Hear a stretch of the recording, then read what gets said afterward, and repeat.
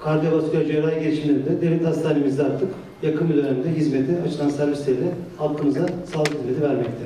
Meriç Nehri kenarında bulunan bir işletmede gerçekleşen ASKOM toplantısında bölge illerinin dönem istatistikleri değerlendirilerek yoğun bakımlar arası yapılan sevkler, özellikle servislerin sorunları, bölge illeri personelinin alacağı eğitimler, kamu özel ve üniversite hastanelerinin sorunları ve acil sağlık hizmetleriyle alakalı konular görüşüldü.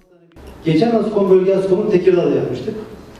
Tekirdağ'da yine Kamu Hastane Birliği Genel Sekreteri ve yöneticilerim demişlerdi ki Edirne'mizde de yanık ünitesini kuracağız. Çok değil 6 ay önce.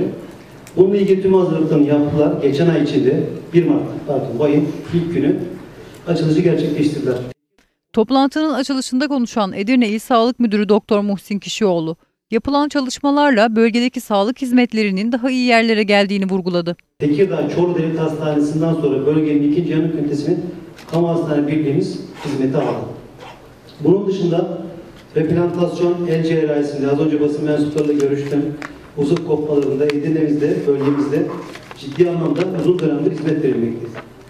Bunun akabinde üniversite hastanemizden sonra özellikle anjiyo ve kardiyovasküler cerrahi girişimlerinde devlet hastanemizde artık yakın bir dönemde hizmeti açılan servislerle halkımıza sağlık hizmeti vermekte.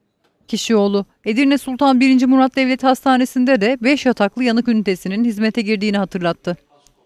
Toplantıya Edirne, Tekirdağ, Kırklareli ve Çanakkale İl Sağlık Müdürleri, Halk Sağlığı Müdürleri, Kamu Hastaneleri Birliği Genel Sekreterleri ve hastane yöneticileri, Namık Kemal Üniversitesi ve Trakya Üniversitesi Tıp Fakültesi öğretim üyeleri, özel hastane yöneticileri ve ASKOM sorumluları katıldı. Nedeni eh, geçtiğimiz dönemde 2003 yılında